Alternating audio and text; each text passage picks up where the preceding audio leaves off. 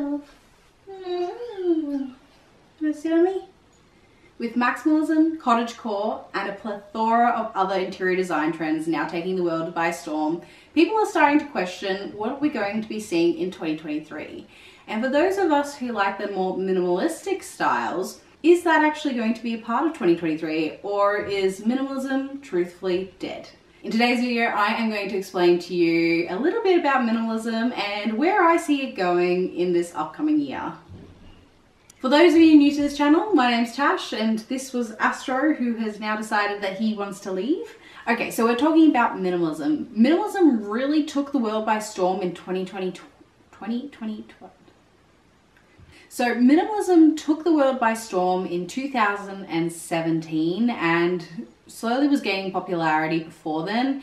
It was kind of this counteraction to this whole consumeristic mindset. And this movement was really starting to change the way people were thinking about purchasing items and how they were living in their homes. The whole less is more movement really started to take the world by storm. And there are quite a few other little movements that came out of that some of which I have mentioned in previous videos, like slow living. But after a good couple of years of being inside and not particularly enjoying the more minimalistic lifestyle, the entire world seems to have moved on from minimalism and has started to go in the complete opposite direction, which in all honesty seems to be a more maximalistic mindset where we are utilizing far more colors, far more textures, and really personalizing our spaces for us and not for this more minimalistic, simple mindset of just less is more for being less is more.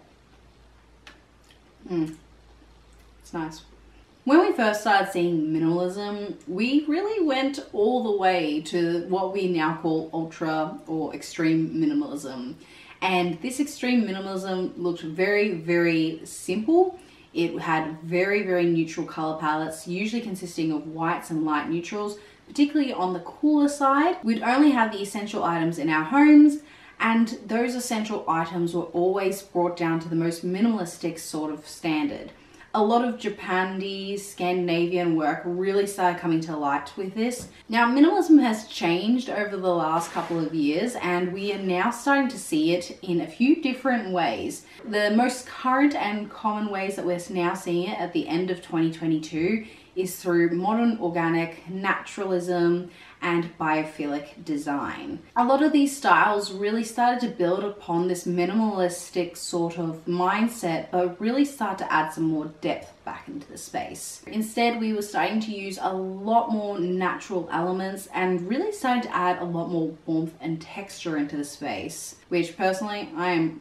actually quite enjoying. When it comes down to it, minimalism is not going to be the same minimalism that we used to know. And for me, I think minimalism is going to be much warmer and much more inviting than the previous minimalism.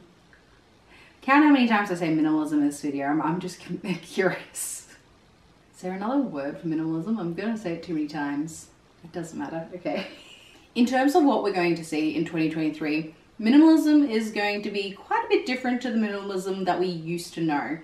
So we are going to see a much warmer color palette, a much more naturalistic side, and really adding a lot of depth and texture through different natural materials, whether that be through stone, wood, or even just by utilizing far more plants. Some other things that we're going to be seeing with this more refined version of minimalism is a real eye for sustainability and reflecting nature. In terms of sustainability, this has been a huge trend, not just within interior design, but in terms of the rest of the world and where we're going to a more sustainable future.